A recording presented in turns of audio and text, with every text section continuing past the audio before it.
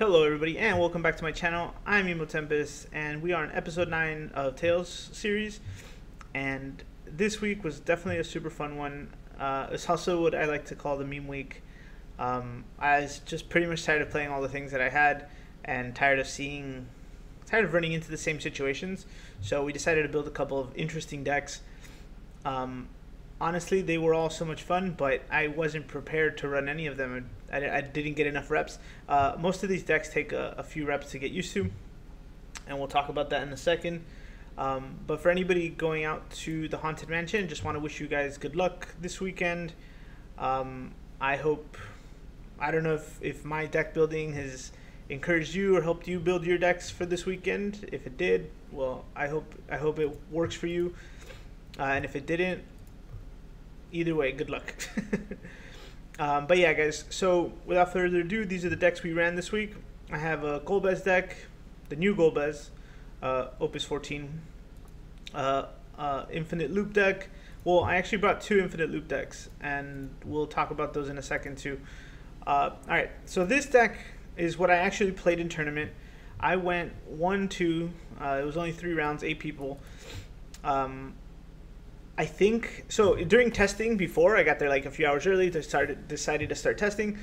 Uh, I hadn't. I, I, had only done uh, practice draws with both of with all of these decks, um, and then after playing a few matches, I felt like this one was the most, um, the one I enjoyed the most, as well as the one I thought had the best odds. Um, and so yeah, so let's talk about it. Right, the whole thing is Golbez. You guys should be familiar with it by now, but if you're not uh, at the beginning of your of the attack phase, during each of your turns, reveal the top card of your deck. If it is a forward of three costs or less, you may play it onto the field. Right. So the idea is to get to the Golbez, play the Golbez, and then let the fun begin. Right. So you have, um, and it's a little it's a little all over the place. I know it is tricolored uh, with a splash of earth, um, but it's ice, lightning, water. Uh, Sephiroth is to cover your bases. The triple Luas for for haste on big boards. Dusk is to bring out the odd colors. Uh, Yuna is just an exceptional card for all the different uh, elements and to party attack and draw. Uh, the Noctis is the odd color, but uh, able to bring it out with Dusk, Golbez, and Alcid. Uh, Lid, uh, I, thought I found this card to be really useful in the deck as it you know helped you get to all of these different pieces. White Tiger was just another um, odd color, but also ice, playable from Dusk, Golbez, and Alcid. Uh, Zeromus, very solid card. Celestia, which is probably the one uh, will change uh, going forward, um, but also just color fixing uh, and more targets for lid. Uh, Alcid, solid card, you know what it does. Um, we've been talking about it for a while now. And then the main card is Golbez. I added the triple jet to help protect the whole plan, like once we're going in for the kill. Um, only ended up working in testing, not in, in tournament at all. And the Thancreds, because we do have a lot of uh, water lightning stuff and also lid targets, very usable, very good card. Um, Princess Sarah Cosmos to color fix. I usually found myself doing ice with this one when I searched it because we had the lightnings to cover other stuff. Uh, Cosmos is if you draw it, you're pretty much good for the whole game. Uh, the lightning water Moogle uh, one Clan Gully, two Hurdy. All of this is to help recur Lua. Um, so you have the yo. You should always have the show in hand or available. Uh, the Sage works out for us because it searches for Earth or Lightning. So pretty much all the forwards except the water stuff, right? Like because all the lightnings have ice in them, and then all the Earths also have uh, uh, one of the other elements that we're using. So um, I might even bump. Uh, I think I should bump this up to three. Honestly, um, I think there was two more whips here. I think I took out the Lozaf at the end. Um, yeah, there's two more whips and then triple Sarah. Uh, game one, Mono Fire. Game two, Mobius. Uh, game three, Doga. Uh, lost round one and two. Uh, Mono Fire was interesting. I thought I would be a little, um, do a little better there. Um, I didn't honestly, I honestly didn't see the Golbez until late, and then by that time, my opponent had multiple Amaterasus available to him, so a lot of this stuff didn't work. Uh, like when he comes out, when the Alcid comes out, just gets answered um, when the Thancred comes out gets answered. Um, yeah, that's pretty much it. Uh, but we held our own, I think, for a decent amount of time. It was able to. The, the biggest thing that this deck does is um, even if you do. Once you play the Golbez, by the next turn you have three forwards, right? Assuming you you, you reveal the a good one, but uh, as long as you're because you're not actually paying anything to reveal these forwards, the Golbez uh, generates enough value for you, so you should always have a hand to play something else the following turns. Uh, or if you get Shantotto, uh, Filiad, uh, any of the any of the board wipes, right? Uh, you should be able to recover because you have more cards in hand since you're not playing anything from your hand actually. Um, the biggest, uh, well, before I go into the biggest problem, I, I talk. I want to talk about the synergies. Um, I really like the way that all of the forwards worked well together. Um, I think maybe I can just change some numbers, like put uh, the White Tiger down and then take the Celestias out, add another Thancred, and then mess with some more Water Lightning stuff here. Uh, I was even thinking I wanted to keep it under threes, right? So that was the problem that we were having. But uh, whenever the Golbez reveals the Noctis, it threatens the big, you know, the big plays next turn. Whenever the uh, Alcid drops in the Noctis as well, also threatens big plays the following turn. Um, and if you already have the Alua out as well as being able to haste them, then there's a, the the possibilities of the haste are really nice with both of these guys available. Um, and yeah, getting a, being able to play in the lid from the Alcid or the Golbez, get the effect, get the other, uh, get one of these guys. Uh, it all felt so great, right? The biggest problem was the backups. Uh, this is the backup line that I took. It was it wasn't efficient enough for what I wanted to do. Um, I just couldn't cover my colors fast enough. There was a few times while testing that I realized that there was um, that I was missing something or I got color locked, which I found interesting because I always, you know, everything else matches up pretty well, right? But it was mostly the backups that kept me, uh, that crippled me. Uh, and I know since I'm revolving around the Golbez, I should probably add more cards that help me get to the Golbez, like Merwib, Battleron, even the Sildras. Um, but I just went with this for the first time, right? Uh, I do like where this is going. My biggest problem with the list is obviously if you don't get the Golbez, it's a little harder, uh, as well as finding the Golbez, um, and then it's just the backup line. I, I can't. I think when you want to play three to four colors, you need a little more consistency, and I really think the Sage is what helps it because you're always getting into one of the good pieces. Uh, and then the no summons kind of kills me, right? Like uh, we were having this discussion sort of um, recently at our locals, and some of one of our players, who will remain nameless, just doesn't like playing summons. I, I find them very useful, and so um, he still does well. Uh, without to say, but obviously he plays summons now in his current list, but um, I just I can't play like that. I need them. Even when the monsters deck existed with the with the two drop monster that negated summons, I can't play like that. That's not me. Um, but yeah, the, this is the Golbez deck. Um, try it with the forwards, guys. Uh, mess with the backups. That's my suggestion here. If you want to play, if you want to try this one. Uh, the other two I'm going to run through a little quickly because, well, frankly, they're a mess, right? Uh, so this is um, sort not his exact list. I looked at his previous lists and what he what I hear around the around the shop about what he's playing, um, and then I went from there. I think uh, the Pains, the Y'shtolas, the Aluas, the Rikus, and uh, Golbez Bismarck, and all this stuff. The forwards are kind of the same. I think I added I added an Iris, an extra Zidane, um, an extra Y'shtola. I took out a Typhon. Um, but pretty much this is his loop deck to draw your whole deck, and uh, or this is the concept of his deck um, to draw all your whole deck and just summon all the forwards, bring out Wool, say no EX bursts, and then attack for like eight times uh, and then win the game, right?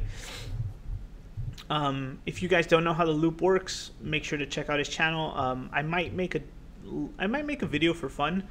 Uh, if you guys want to see it, please make sure to leave it in the comments where we talk about all the all the loops and OTKs that exist in FF. Um, I don't think there's enough talk about that in the community, and I think it's very important um, because they're super fun when you pull it off, and it's. I mean, it's not fun for your opponent, obviously, but it's just it feels good. uh, but anyway, the main thing is you get the out the Talon into the Tilika. You need at least uh, a Bartz and a White Mage, or two White Mages. I understand. Um, I was really mostly going for a Bartz and a White Mage to make it super uh, fluent, and then um, you need the a Miyun and a Riku, and then yeah, everything. You just play the Tilika, and then start playing all these cards, and then you're able to Miyun the Riku every time, draw a card, re- get those backups. You get Miyun, White Mage, Bart's back, play them again in a, in a specific order, and then you refresh all your backups, do it all over again. Yeah, it's it's it's pretty silly. It's actually pretty simple once you understand it. Once you do it the first time on your own. Um, during uh, practice draws, it felt great. Uh, during play testing, it felt decent. Um, I want to add more protection, like Titans and stuff, but there's no. I don't know where to make space. Right, this isn't my ideas, um, and so uh, honestly, ultimately, I wanted to play this for locals, kind of like have some fun. But again, the Golbez deck was just showing a little more promise, and I kind of chickened out to do this. I didn't think I could get away with it at, at all. But maybe I'll try it again next week. Um, now, the Regis loop is a little more complicated and farly like more difficult, in my opinion, to build around. Um, uh, if you're not familiar with it, you need Rinoa, Lani, Regis, right? Uh, two Rinoas need to die in one turn. Uh, you play Regis. You target two dead Rinoas. They will both come in. You target a Lani and a Regis with each Rinoa. The Rinoas will both die because they cannot exist. After their effects resolve, you'll do Lani uh, take a card and Regis reborn, and then you target two dead Rinoas again. Um, I don't have again. If I do, if I get enough um, request for it, I'll make a more detailed video on how the loop works and the rulings to it. But pretty much, um, you mill your opponent out using Lani.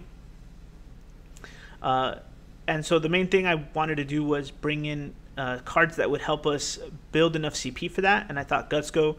So the real problem with this too is that you're all over the place, right? You have fire, ice, um, you need earth and some lightning here. Uh, and oh, and you need magic pots, which are already just like difficult on their own. Um, the other thing is, uh, so anyway, so Gutsco, every time he comes in or attacks, I'm able to build up uh, like some card advantage in like some future card advantage, which helps us out. Um, lets you also protect cards from getting into the, the break, um, getting RFG'd or um, hit into the into the damage zone. Um, so it, whenever every time he does that, you're able to stockpile some stuff. Uh, Dark Elf from for weird protection. I was kind of like uh, uh, obviously, when no one plays this card, right? There, it's a full art for a reason, um, other than you know being an original art. But after uh, thinking about the kind of idea that I was going for this deck, the deck needed protection and some durability, and Dark Elf just fit that category enough for me. Um, if he's dealt 9,000 damage or more, right? That includes battle, summon, or ability damage. Pretty much, he can block anything 9 or higher forever. Um, he auto loses unfortunately to BFA, but that's anything. Um, but and then summons and and abilities also like he doesn't die to right. Uh, so with that being said, you're able to play him with Filia. He'll live. You're able to play him with Susano, which I don't have in here, which I wanted to add, but again, space. Um, he's also able to block, you know, big stuff, and everyone kind of has forwards in that in that realm right now. So it, I just feel like he does enough. I didn't get to test it. I didn't. I pro, I didn't play any games with it because my Shantottos and Mist Dragons were in my other deck. Um, and then honestly, the play draws were a little abysmal here. Um, triple Regis, triple Titan, triple Filia, uh, the Hecaton, and the Mist Dragons. Uh, the reason I have those two is again we want to be able to uh, take advantage of this, uh, this, and ultimately you need two Rinoas to die in one turn right? Ideally, one is magic potted, but the second one needs to either be killed some other way. Um, you have Titans for that. You have Hecatons. You have Blaze for that. Uh, you have just try to attack, I guess. Uh, but yeah, that's just what you have to do, and it's rough. So um, I brought some extra support for that. Uh, the Mist Dragons are for protection mostly. You don't want anything. You don't want them to RFG your stuff, and you don't want them to Amaterasu the big plays. Uh, so you kind of have that. Same things for the Lael. Cosmos is to help you color fix. I put these in here just to make sure I can produce ICP if I don't have any of these. Uh, the Kolka search is North. The this search is Kolka or Regis. Uh, Blaze is just for a little removal, and as well to kill your Gutsko or Rinoa. Same thing with the Titan. Uh, Titan and Filia kill the Gutsko mostly, and so that helps. The Hecatons are there for that if you build enough cards. Uh, Noctis makes this this whole combo a little easier because you're able to leave the Regis in break zone and then play it off of this. Um, you know, and Tyro and Shantotto are pretty self-explanatory. Um, I I don't know, man. I, I have another list that I want to try with like a water line, a water and earth backup line, but none of the none of the forwards are water, so it's really it's really interesting. Um, this something like this is going to take a lot more time for me to build out and fully test and take and pro- and make competitive. But it's hard with decks like uh, Doga, you know, the top four, right? Monks and even Mobius. Uh, I think there's some better options there. Um, not better options, but the the matchup is favorable in different uh, against certain ones, mainly because you have so many board wipes, right?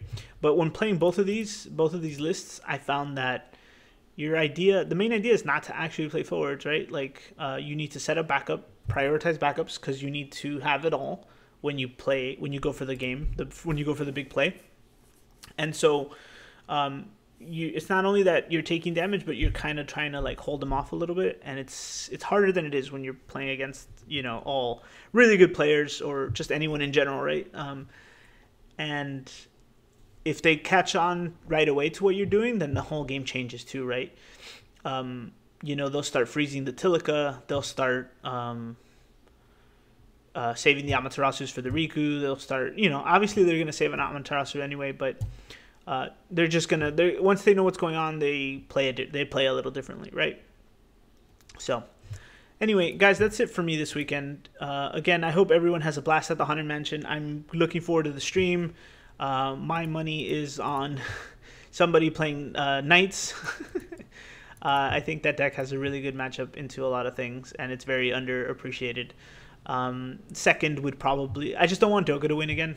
So guys, if you're trying, if you're playing Doga, it's fine. But if you're not, don't let him beat you. Uh, yeah, um, we're probably gonna do uh, this episode nine. Next week will probably be the last episode uh, because we're moving into ten point, uh, fourteen point five and then we'll just do some regular stuff, some analyses on the starter decks, and then the next set's pretty much um, less than a month away now, or just about a month away. So yeah, all right, guys. Um, thank you, thank you again for uh, for watching and listening. I hope you enjoyed it. Have a great day and goodbye.